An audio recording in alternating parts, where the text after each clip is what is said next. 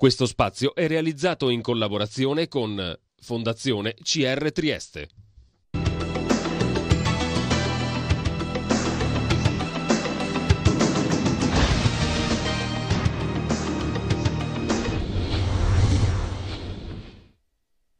Eccoci pronti per un'altra puntata di Trieste in diretta che vi terrà compagnia fino alle 18.33. Nella seconda parte avremo ospite il maestro Massimo Belli che è il direttore dell'orchestra Ferruccio Busoni con la quale parleremo del concerto per la speranza che si terrà lunedì prossimo alle ore 21 in cattedrale a San Giusto e che Tele4 trasmetterà in diretta, laddove nella prima parte siamo in compagnia del professor Walter Gerbino, docente merito eh, di psicologia all'Università di Trieste, e del professor Claudio Tonzar dell'Università di Urbino, che è direttore scientifico del Festival della Psicologia del Friuli Venezia Giulia. Grazie a entrambi gli ospiti per essere venuti a trovarci. Con i nostri ospiti parleremo di due avvenimenti. Uno è la mostra che eh, si tiene al Museo Revoltella fino al 30 di eh, settembre, I Pupoli di Canizza, l'anima artistica di un gigante della psicologia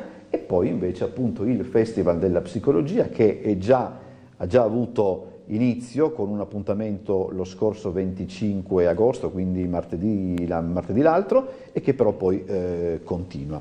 Allora io direi, eh, cominciamo dal professor Gerbino, eh, per parlare, poi dopo logicamente immagino che i discorsi andranno ad intersecarsi perché è anche giusto che sia così, per parlare di questa, di questa mostra e soprattutto anche di che cosa sono i pupoli di Canizza. Mm.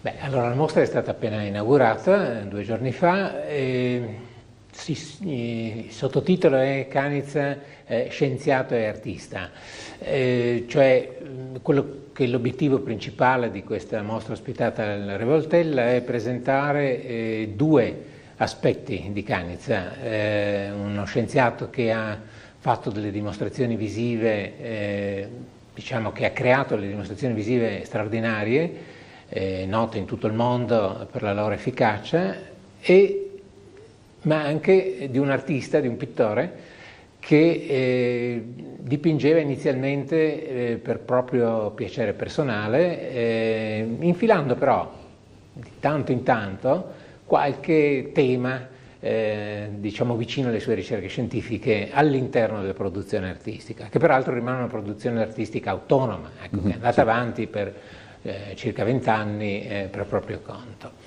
La mostra eh, non riguarda tutta eh, la produzione di Canizia in ambito scientifico e artistico, perché la cosa sarebbe stata impossibile, ma i punti di contatto tra queste due, eh, tra queste due attività, organizzata in otto sezioni corrispondenti a otto mm, momenti, diciamo, del, eh, otto problemi forse meglio della eh, ricerca eh, affrontata da Canizza nei due ambiti.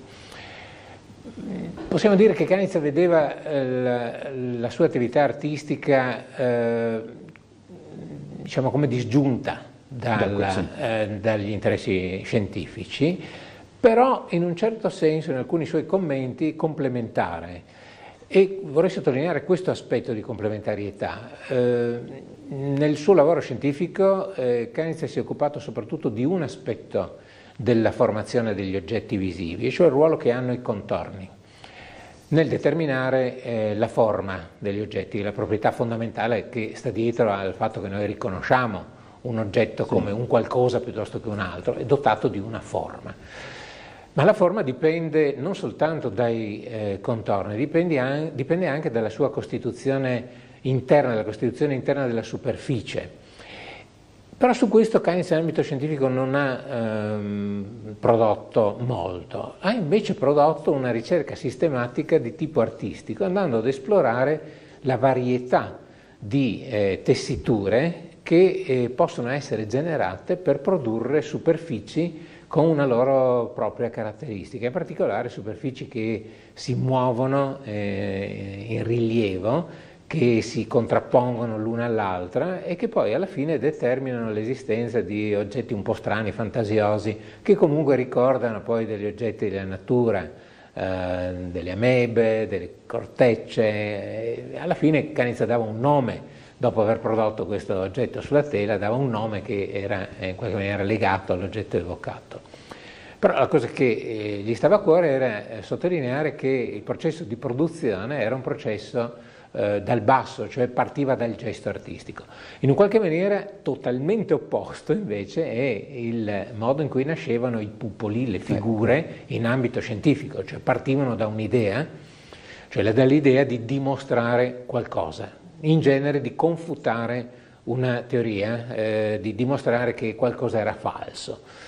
E per questo Canitz era un mago, nel senso che riusciva a trovare delle dimostrazioni efficaci contro le quali era difficile controbattere, che per esempio dimostravano, eh, caso del famoso triangolo, dimostravano eh, che per generare una figura geometrica non è necessario contornarla tutta, non è necessario che ci siano ovunque i contorni, come normalmente accade quando noi disegniamo, tendiamo a disegnare tutti i contorni di una figura, oppure come accade quando noi riprendiamo un oggetto mediante una fotografia, quasi tutto il contorno dell'oggetto è, salvo casi particolari, è presente nell'immagine.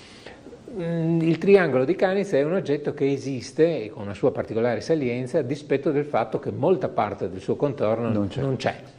Eh, ci sono casi limiti in cui soltanto una piccolissima parte c'è dal punto di vista del dislivello di chiarezza nell'immagine, eppure l'oggetto è molto saliente. E questa è una sezione. Questo poi magari torniamo perché c'è un, un, discorso magari eh, che, mi che, mi interesserebbe, fare.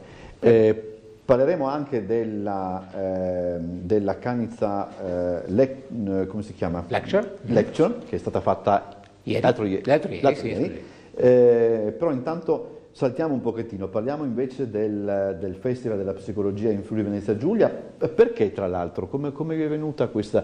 Non si associa l'idea di psicologia a un festival per dire la verità, però insomma forse sarebbe anche il caso di cominciare a muoversi in tal senso, voglio dire. Sì, l'idea non è, non è, nuova, in realtà l'anno scorso abbiamo già eh, realizzato in Friuli Venezia Giulia e Trieste in particolare è stata la nostra sede centrale degli eventi, un primo festival della psicologia in Friuli Venezia Giulia.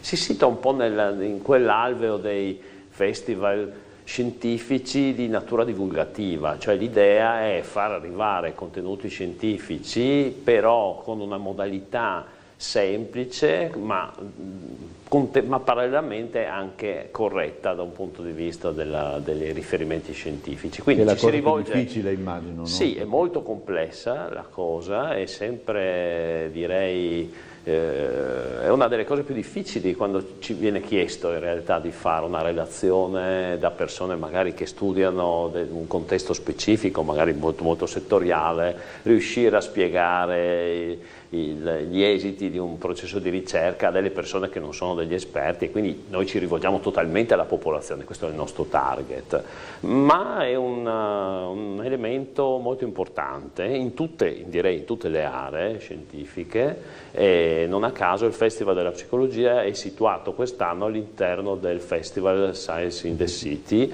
quindi direttamente in relazione con ESOF, abbiamo partecipato a un bando assieme tra l'altro anche all'Università Università degli Studi di Trieste, e, mm, il Comune di Trieste e altri enti sia pubblici che privati che si occupano di arte e di cultura, perché il festival, un'altra caratterizzazione del festival è parlare di scienza ma mettendo in relazione i contenuti scientifici, in questo caso la psicologia, con contenuti di natura artistica, cioè spiegando e cercando di portare avanti un ragionamento sui fatti con uh, un lessico di natura sia di diretta ma anche un po' divergente, quindi questa è un po' la caratterizzazione del festival. La, ecco, queste le immagini che stiamo vedendo si riferiscono all'appuntamento proprio di martedì scorso che è avvenuto dove? Perché qua non, non riesco al teatro, al teatrino ah, sì, Franco e Franca Basaglia, proprio a, quindi a Trieste, al parco di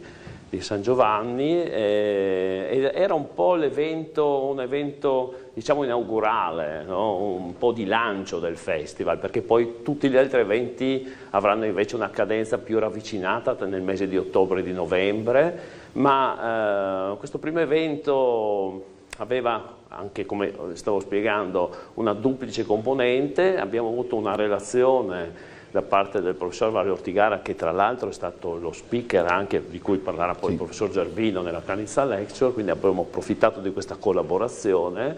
Il tema era il rapporto tra uomo e animale, eh, animali meglio, eh, quindi visto che il tema specifico del festival che collega un po' tutti gli eventi è quello eh, di mettere in luce la distanza che c'è tra le credenze che le persone hanno rispetto ai fenomeni psicologici e le conoscenze che sono in psicologia, abbiamo cercato di partire da proprio rapporto uomo-animale per mettere in luce come alcune credenze che le persone generalmente hanno sul mondo animale eh, in relazione all'uomo sono erronee. Tipicamente, non so, eh, eh, il professor Ortigara ha scritto anche un libro su questo, si pensa che la gallina sia un animale non intelligente, invece sappiamo che eh, i pulcini sono in grado di fare dei semplici computi, sono in grado di discriminare delle grandezze, sono in grado di mettere in atto tutta una serie di processi cognitivi complessi, così come altri animali, che noi riteniamo invece assolutamente non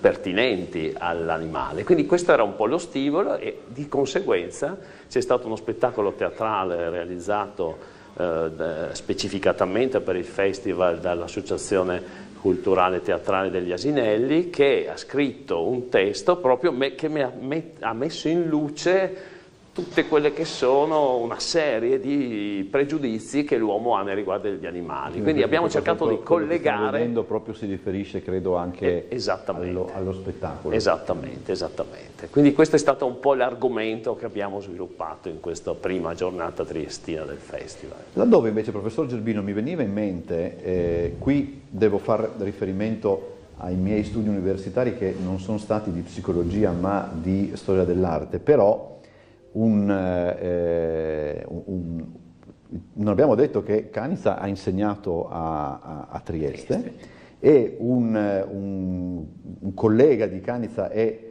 eh, insomma, più che un collega, credo, era il professor Gioseffi, che è stato il mio eh, docente di storia dell'arte e che insomma, ti insegnava molto a fare dei collegamenti, delle volte anche piuttosto azzardati, ma alla fine neanche tanto.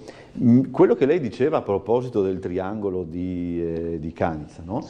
eh, mi ha fatto tornare in mente una volta una discussione che ho avuto con, mio, con un mio amico Ottorino Laringoiatra, il quale mi ha detto guarda che fondamentalmente noi eh, non è che sentiamo tutto di una parola, sentiamo una parte della parola, poi dopo la ricostruiamo con un processo rapidissimo sulla base delle nostre esperienze, sulla base anche appunto di, di, di, del nostro passato, eccetera. Quindi è un discorso abbastanza simile, mi dica di sì così faccio io bella figura Le e non faccio fare brutta figura a Gioseffi soprattutto.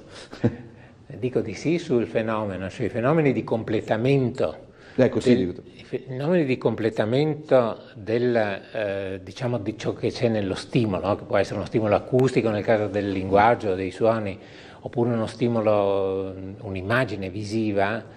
Eh, ora, il, il, fenomeno del completamento è sicuramente eh, ovunque, è presente ovunque. E, e l'interpretazione teorica dei fenomeni di completamento che varia e su questo Canitz aveva un'opinione ben precisa, e cioè che eh, si affannò a dimostrare anche eh, il senso di questa sua eh, posizione. L- è sbagliato pensare che tutti i fenomeni di completamento dipendano dall'esperienza passata, mm. e cioè dal fatto che noi abbiamo una conoscenza eh, degli oggetti, eh, basata sulla nostra interazione personale con gli oggetti fino a quando siamo piccolini e che questo ci fa vedere certi completamente piuttosto che altri. E di questo ha parlato anche Valortigara nella, nella, no, sua, nella sua, conferenza, nella Canizza Lecture eh, di mercoledì, a proposito delle competenze del pulcino, e qua ci ricolleghiamo con il tema eh, della sottovalutazione, se vogliamo, che il senso comune fa di certe capacità di certi animali in particolare. E il pulcino eh, dimostra una eh, capacità innata e questo lo si può controllare particolarmente bene nel caso del pulcino, prendendo i pulcini alla schiusa, la capacità innata di eh, vedere gli oggetti completi anche se sono parzialmente coperti. Uh, quindi si comporta rispetto a un oggetto parzialmente coperto come se fosse eh, intero, per così dire. E questo non lo possiamo attribuire all'esperienza passata perché nel caso del pulcino almeno siamo certi che, che alla schiusa non ha avuto esperienze visive di alcun tipo.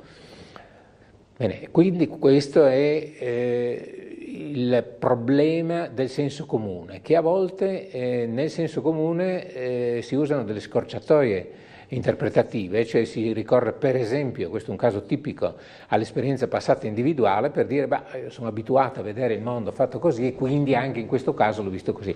Questo molte volte fa ignorare il problema scientifico eh, sottostante e, e, non fa capire che invece eh, da qualche parte si, eh, le capacità visive devono, essere, devono essersi manifestate in assenza di esperienza passata Uh, oppure in presenza di un'esperienza assolutamente molto uh, primitiva.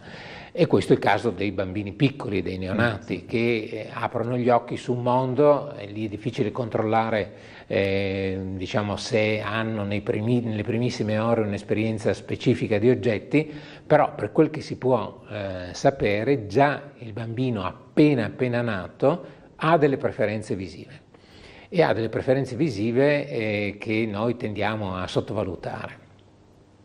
Ah, quindi questo, no, mi, pensavo se, se, il termine eh, esperienza futura è un ossimoro o no.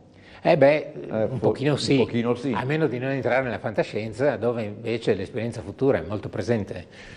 Allora, in, il festival eh, è itinerante in regione, nel senso che gli appuntamenti successivi che credo eh, rimanderanno a, mm, sì, all'autunno inoltrato, quindi ad ottobre, si terranno in altre località della regione. Il primo è eh, insomma, abbastanza, abbastanza curioso per dire la verità, perché psicologia e traffico, riflessioni sulla percezione del rischio viario e sulla sicurezza stradale. Sì, è un tema che sembra apparentemente un po' strano, ma che in realtà appartiene a un campo di, di, sia di ricerca sia anche di applicazione professionale abbastanza, direi molto diffuso, soprattutto nei paesi dell'area germanica. Mm. Eh, è chiaro che l'incidentalità eh, stradale sia legata fortemente all'errore umano, questo è assodato nelle mente. Quindi la psicologia, occupandosi del comportamento umano, del funzionamento del cervello e di tutto ciò che ne consegue, è chiaro che ha applicato una serie di conoscenze in questo per cercare di predire, di studiare quelli che sono i fenomeni del comportamento alla guida degli esseri umani, per fondamentalmente prevenire gli incidenti stradali e mettere in atto de delle procedure che possano limitare questo enorme diciamo, problema sociale, sanitario, sociale e anche economico che eh, sono le conseguenze degli incidenti incidenti stradali.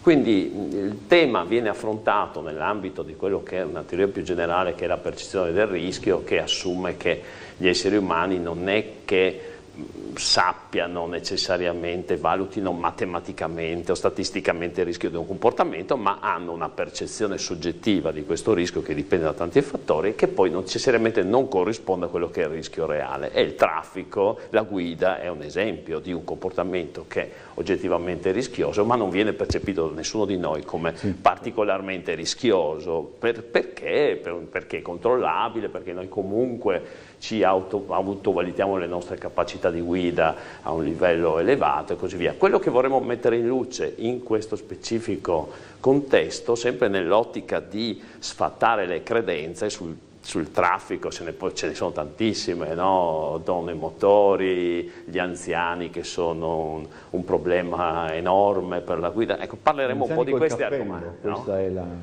ecco, perché le faccio l'esempio, de, dell'anziano, no?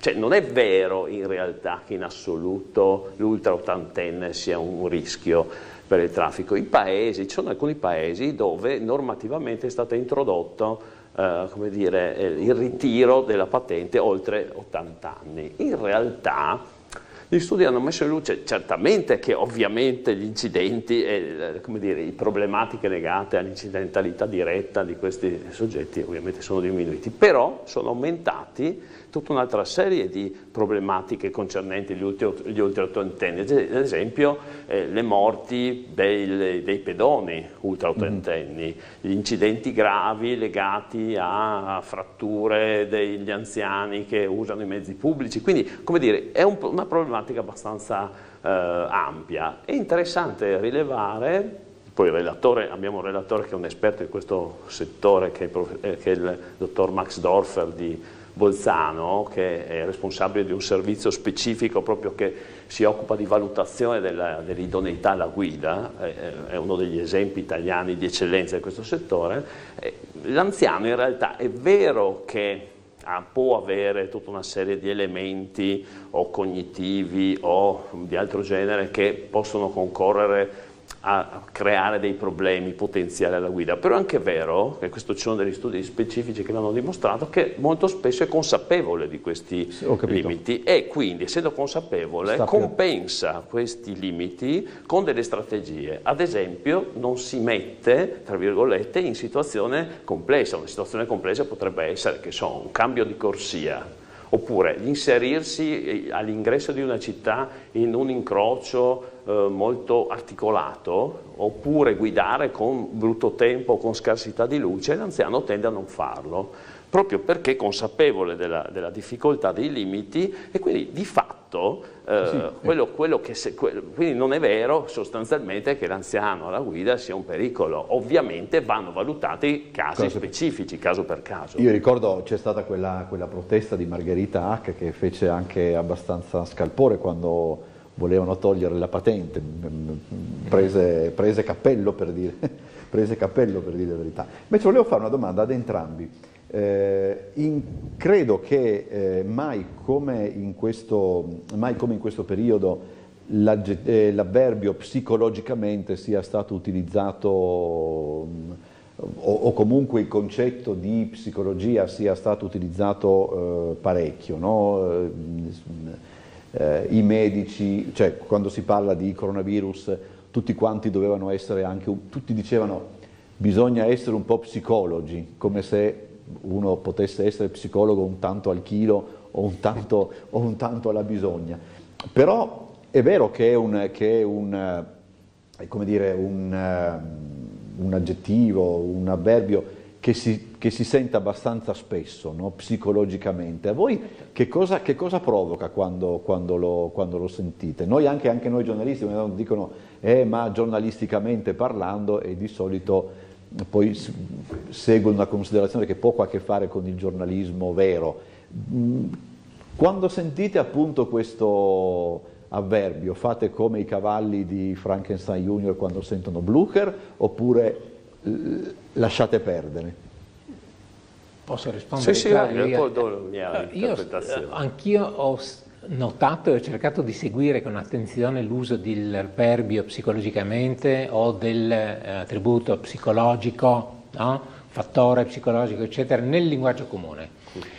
E lascio perdere, quindi non nelle persone che ne fanno un uso in qualche modo tecnico, ma nel, nel linguaggio, linguaggio quotidiano, come si dice pane al pane, vino al vino, così psicologicamente, eccetera. E io ho trovato mh, tendenzialmente coerente eh, l'uso, cioè non, non, detto a caso. Mm-hmm. E si riferisce in particolare al, eh, ad un significato, a un senso, e cioè che nelle persone c'è un vissuto delle situazioni e una rappresentazione delle situazioni che può essere diversa da come le cose stanno in realtà, ma che non possiamo trascurare. E quando uno dice che eh, conta l'aspetto psicologico, per esempio, vuole fare riferimento a questo dato di realtà molto rilevante, cioè che le persone si rappresentano eh, la realtà, qualunque sia il tipo di eventi, può essere appunto gli eventi legati alla pandemia, credo lei si riferisse sì, a questo, no? ma possono essere anche situazioni di crisi di altra natura, eh, individuale, sociale, eccetera. E quindi quello che conta eh, non è come stanno le cose, ma come le persone le vivono, se le rappresentano. Questo è un aspetto che non può assolutamente essere trascurato. Naturalmente questo uso è molto selettivo perché invece la psicologia scientifica si occupa di tantissime altre cose, di tantissimi altri processi, anche di questi processi, cioè della rappresentazione eh, della realtà sociale per esempio, ma non è soltanto di questo che si occupa la psicologia. A volte devo dire la psicologia trascura eh, l'importanza o ha trascurato in certi passaggi della sua storia eh, questo aspetto che invece è molto radicato nel senso comune. E cioè molto, eh, le persone sono molto sensibili al significato che ha l'attitudine, per esempio, delle persone verso eh, gli eventi.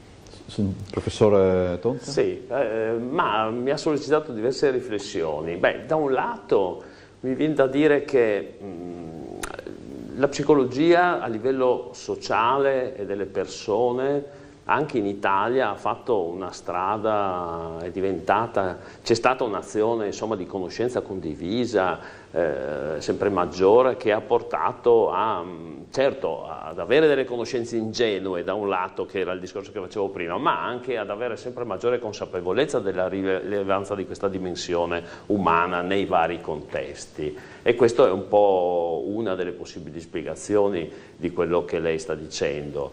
Mm, ad esempio ai professionisti spesso che lavorano sul campo Mm, arriva un tipo di richiesta che è congrua, generalmente mm-hmm. congrua rispetto a quello che fanno. Questo, questo significa che mh, mm, le persone, come dire, intanto ritengono importante rivolgersi a, agli esperti di questa disciplina e, e, che anche sanno un po' di che cosa si occupa e eh, che tipo di utilità eh, sociale o sanitaria può avere. Quindi questo è sicuramente un elemento. Dall'altro lato è chiaro che eh, può, esserci il rischio dello psicologismo in quello che lei dice, no? cioè che ci sia un po' una banalizzazione talvolta, ovviamente dipende dai contesti, sì, sì. dalle situazioni. No? Eh, ad esempio, faccio un esempio con uno dei temi che tratteremo nel festival, nell'ultimo nell'ultima giornata del festival stesso, che è una giornata che abbiamo chiamato Basta la salute, che è una riflessione sostanzialmente sulla,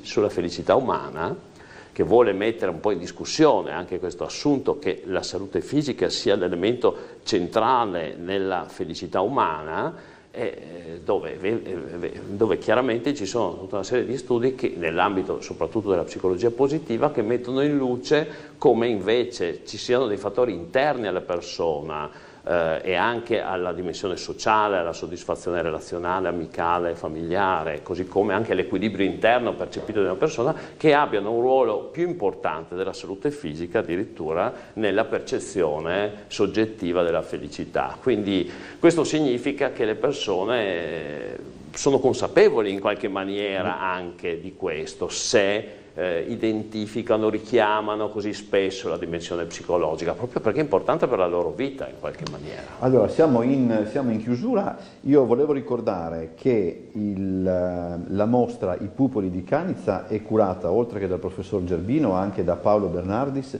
e Carlo Fantoni, e, e credo c'è anche l'università no? dietro, certo. professore. Okay. Ma tutti e, questi sono universitari. Sì. Ah, certo. Ci sono altre iniziative? Eh, diciamo, collaterali alla, alla, mostra come la lecture oppure... No, cioè la mostra va avanti Continua fino, la mostra fino, fino al 30, al... ci sono le visite guidate, possono essere prenotate. Eh, sul sito del Museo Revoltella c'è tutte le informazioni in merito. La mostra, ripeto, continua fino al 30 di eh, settembre. Anche per gli eventi del Festival della, del Festival della Psicologia, mh, giova ripeterlo, ma insomma ormai tutti gli eventi sono anche, come, come si può dire, ehm, a prova di virus, nel senso eh, con, con, tutte le, insomma, si svolgono in, in, sicurezza, proprio per questo bisogna prenotarsi. Assolutamente, assolutamente, è necessaria la prenotazione per tutti i cinque eventi che, restanti del festival, eh, trovate sia sul sito dell'associazione eh, Capofila che che lo promuove, cioè psicoattività, sia nella pagina Facebook o gli altri social, tutte le indicazioni per la prenotazione e l'assegnazione del posto. Allora io ringrazio il professor, Gerbino, il professor Walter Gerbino e il professor Claudio Tonzan per essere stati con noi, grazie davvero, buon proseguimento, buon lavoro E noi ci fermiamo per la pubblicità e poi cambiamo, cambiamo ospite e cambiamo argomento.